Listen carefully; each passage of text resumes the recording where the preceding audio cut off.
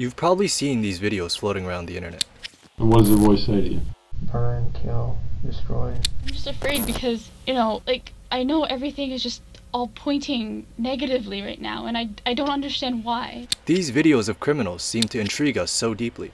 However, while they are interesting and help us understand the criminal's conduct, they skip over more fundamental questions. Questions like, what makes a criminal do such a thing? And what is the nature of crime? Or what part does the government play in all this? To explore this theme of power, crime, and reformation, we will be referring to the work of 20th century postmodern philosopher Michel Foucault and widely acclaimed existential novelist of the 19th century, Fyodor Dostoevsky. Dostoevsky wrote one of the most brilliant pieces of literature in 1866. The book's name was Crime and Punishment. To get the core message of this book, we must first understand the author's views on justice in society. He was exiled to Siberia for five years, and he had to face a mock execution. This will become important later in the video. In Siberia, he saw people justify their actions through the product that their actions would create, a moral theory called utilitarianism. Simply put, utilitarianism is kind of like the mathematical theory of morality. Utilitarians believe that we need to focus on the best outcome, and the best outcome is one that produces most pleasure minus pain. So let's explore this with an example. The trolley problem. Choo choo, I'm teaching ethics with memes. A trolley is hurtling down a track where there are five people tied to the rails. But you can pull this lever to redirect the trolley towards just one person, which is tied to another track. Do you pull the lever? If you were a utilitarian, you would say that killing one person is better than killing five people because it has the best outcome. This novel follows Raskolnikov, who is gripped by the tenets of nihilism, atheism, and utilitarianism. He receives a letter from his mother and is reminded of the great lengths his family is going to provide for him after dropping out of law school. His sister even goes as far as to set up a marriage for his family. This further humiliates Raskolnikov, and his despair grows, making him sell the last of his belongings, including his father's precious pocket watch, to a pawnbroker named Aliona Ivanova, who is a greedy, heartless individual who beats her sister, both verbally and physically. Raskolnikov devises a plan. Let's kill the pawnbroker for the net benefit of society. He believes that there are certain individuals like Napoleon who can transcend mere morality because of their intelligence. If one must die so others can be helped, it is always right to kill the one. A callback to utilitarianism. The crime has started. Raskolnikov gets an axe and walks to the pawnbroker's store. Entering Ivanova's room, he takes an axe and hammers it into her crown.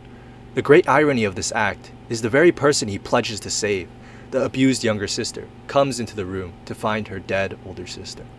And he is forced to murder her too, alluding to the fact that there are always unintended consequences for bad actions. Raskolnikov's name roughly translates to schismatic, which means division, and you will see this theme of duality consistently within this novel. He is drawn to people that repeat themselves twice, and finds himself in odd scenarios where there are two conflicting motives. In the final part of the book, he finds his redemption in Sonia, a young lady who is pure at heart but prostitutes for the sake of her poor family. Another duality is found here. While Raskolnikov justifies his actions with pride and seeks the benefit of himself in the end, Sonia accepts her crime with humility and seeks the benefit of others in her family. Now, according to St. Augustine, pride is the worst sin. Quote, Pride is the commencement of all sin, and humility is the highest virtue. Quote, If you should ask me what are the ways of God, I will tell you the first is humility, the second is humility, and the third is humility. Now, we can see how Dostoevsky is pitting opposites against each other. In the end, Dostoevsky thought that the solution to crime was to be found in Christianity, the archetype of that being Sonia, telling Raskolnikov to serve his sentence. In a sense, his crime is pride, and his punishment is being humbled. Now, you can disagree with Dostoevsky's conclusion, or think it naive, but one of the themes of this novel is that you cannot get away from crime, at least psychologically. Quote, The man who has a conscience suffers while acknowledging his sin. That is his punishment. It is also a warning to intellectuals who believe that they can get away with crime through the manipulation of people and transcend morality. Raskolnikov's response, however, to those who convict him is the following quote, Crime, what crime? My killing of a loathsome, harmful louse, a filthy old moneylender woman who brought no good to anyone, to murder whom would pardon forty sins. you call that a crime. Again, alluding to the theme of pride in killing or sin in general. So, with Dostoevsky out of the way, we will be looking at the underlying structure of punishment. The author we will be focusing on for this topic is postmodernist Michel Foucault, particularly his book Discipline and Punish. If we were to simplify this book, which is quite difficult, it essentially states that we can understand power structures by observing how criminals are punished. In the 1700s, we see brutal, almost barbaric punishments. Foucault particularly points at a criminal who tried to assassinate the king. This criminal is first skinned with scalding pincers, then his body is filled with molten lead and other boiling substances. After all of this, he is tied to four horses going each in opposite directions. You might be thinking at this point, wow, I'm glad we got away from that kind of torturous punishment. But Foucault might say, not so fast. He points out that there has been a shift from controlling people with physically brutal punishments to instead making them conform to society through disciplining them mentally. In the 19th century, punishment becomes more civilized, where we see punishment for crime taken up by routine. We see sentences more controlling the minds of people rather than just inflicting physical pain. Think back to Dostoevsky's mock execution in Siberia. Now, why in the world would anyone sentence an execution that is last minute pardoned by the Tsar? Well, Foucault might say it's to control the prisoner's mind. It's to make them conform to societal conventions and make them grateful to the emperor again. Foucault further buttresses his proposal by exploring an idea called the panopticon, a project made by the father of utilitarianism.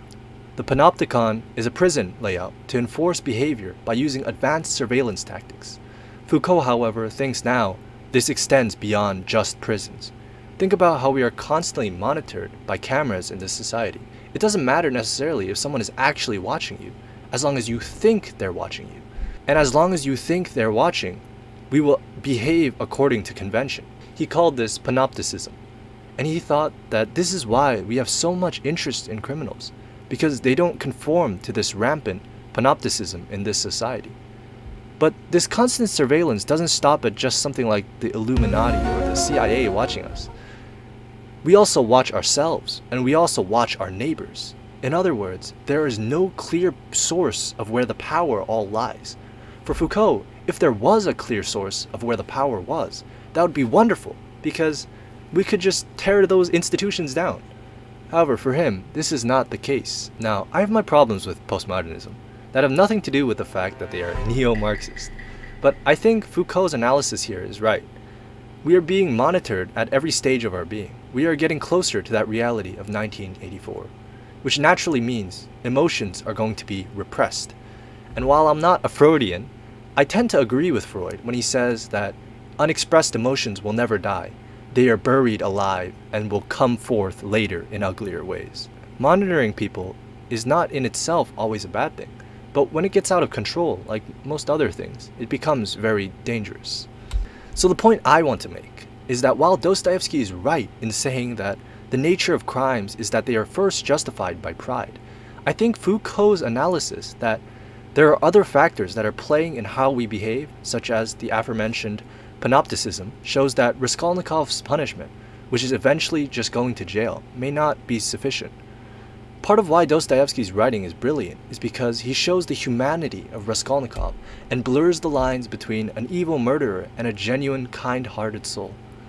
Dostoevsky also spectacularly writes the psychological warfare in the mind of a criminal.